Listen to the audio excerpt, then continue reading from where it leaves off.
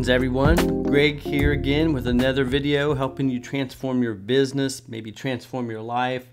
In this video, we're looking at Odoo and how you use many to one relationships to create a complete application that integrates your models together and the kind of architecture you need to build an enterprise application. So before we get started, go below. Please click like, please click subscribe, and leave comments if you can.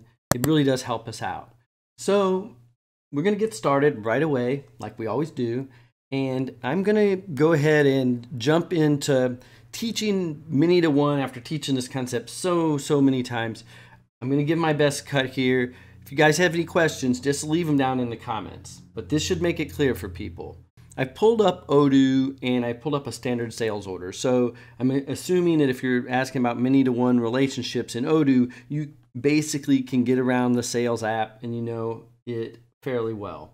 So here in, uh, we got our sales order up. And the one thing we want to do if we're looking at relationships and fields and how the models are fitting together, you want to turn on your debug mode. So we we got up here, and we got a question mark, debug equals one, so we can like examine our fields, right? And so we're going to take this starting from a functional perspective. We have a sales order header, and in this we have the name of the sales order right here. This is the name property. I can like mouse over it, and you can say I should say the name field. So this is the field name, so we can see that, and we can see it is of type character. If we come over here to order date. We can mouse over it and see that this is field date underscore order and it's of type date time. Now, this is obviously about many to one. So let's look at a many, a many to one field. If we come over here to customer, we'll see that this is the field partner underscore ID, obviously in the sale.order object. And here we see that it's a many to one. So what does that really mean? What that means is that we can have one record here within our sales order that's tied out to potentially many different ones that, that it could select from. I've never really cared for the many to one term for trying to explain it to people when in fact there's one uh, field in this record that matches many in the others. It seems like it's flipped around, but don't let it confuse you. Use the functional aspects here to to see that this is a many to one relationship and we can only have one customer here but there's many of them to select from. Now, a lot of times what we do is we use diagrams to show these relationships and it can be really helpful. And all of this is coming from database terminology. So, you know, if you want more in-depth articles and videos and things on this, you can learn a lot by understanding basic database terminology when it comes to many to one relationships, one to many relationships, many to many relationships, things like that. It's, it's all about database relationships and connecting tables together. In Odoo, we discuss them as, as models. So what's what we want to do is look at this diagram real quick, and I'm going to pull up this diagram, and I'm just happen to be uh, using Lucidcharts here. And uh, we're going to focus, first of all, on the sales order right here, the sales order model. And we have the name of the model, and then, of course, the technical name of what is used when you're referencing it, sale.order. And we all of the models in Odoo have an, a, a field ID. And these are the primary keys for every model in Odoo. And so when it creates a table out in Postgres, the database, it's creating a table with an ID that's a, a primary key that gets auto incremented for us. That's just built into the Odoo framework. And I added a couple of other fields in here. Now, obviously, this is just a small sampling of all the fields in the sales order header. We have our active uh, flag of whether it's active or not. I think that might have been a, might not even be one in there, but that's one of the fields, a name uh, field that you can have. And then we're going to look at our first partner ID, which is the many to one. So this partner ID many to one is in this diagram matching up here to our partner ID, as you can see there, field partner ID type many to one. And it's related, if you see at the bottom of this here, tool help, you'll see its relationship right there. It's telling us it's related to res.partner. So we can see this in this diagram. We have this many to one relationship that ties to our res.partner table, which is our list of customers. And so it's really that simple. Uh, when you see many to one it, with inside of table, just know that that particular field is going to tie to a, another table that will have an arbitrary number of records in it. It could have no records in it, which means that you'd have nothing to assign here. And that, that, that is completely possible. You know, you would just have a uh, an empty value here or none in Python terms. And uh, null in a lot of languages, say just nothing in there. Or you would have a tie to a record in this contact table, but you can only have one in here, right? And so this is basically all all you need to understand but I, what I've done is I've created a few more examples so hopefully it'll be really clear to those. It's just maybe a little confusing. Let's look at another many to one. So if we come over here to other info you'll notice that we have under sales team another field called team underscore ID and we can see the object is named sale.order again same model and then type many to one so another many to one and at the bottom, we can see this relationship is to crm.team. So if we jump over to our diagram again, I've, I've shown this one here that we have under sales order dot sale order that our team ID and this F key or FK that I have here means foreign key.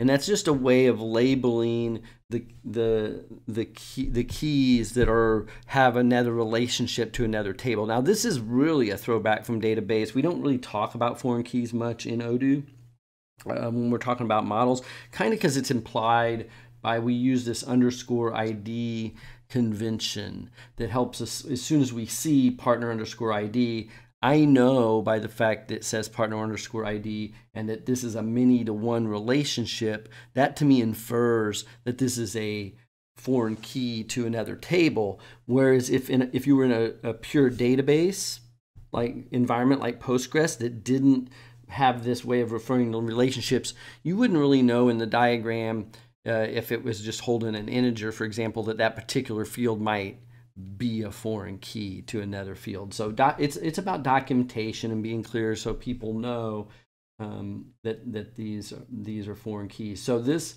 this foreign key, this team ID many to one, is related to our sa- our sales team crm.team.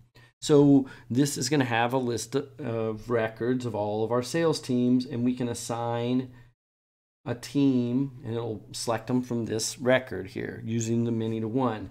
Now, to come full circle and see how this works, inside of our sales team, if we come here and we click on it, we're going to see that there's a team leader option here. So if I come here to edit, I can pick a team leader and you'll notice that this is also pulling if we look at it, user underscore ID, object CRM, it's a many to one. Ah, and the relationship is actually res dot users. I, I, I had thought it was res dot uh, partner.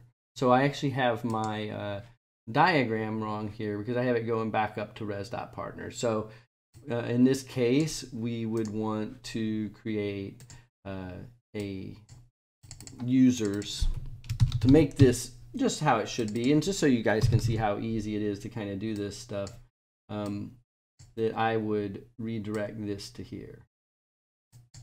I'm mm, sorry, I would actually do it this way. Delete this one and come from here to here like that. So we have the sales team, its user ID ties to res.users, and ironically, res.users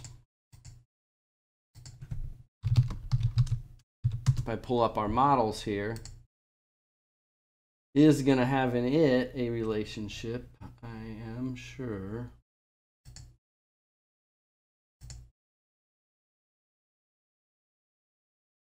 The partner ID, related partner. So here inside of our users record, we have a relationship to related partner If we click on this, and I'm showing you going through the models list inside of the technical things, uh, that we can confirm that this is related to res.partner.